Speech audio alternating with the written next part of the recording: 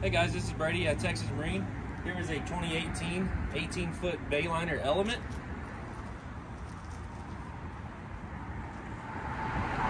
Okay, here at the back of the boat, it's got two flip up jump seats to hold two more passengers. And it also has a huge live well here for bait or fish, whichever you may prefer. It does come with a Bluetooth radio. Here's your helm. Uh, it's got a small helm, which gives you a lot more fishing space on this boat. You got a nice little casting deck with plenty of storage and another live well here in the front.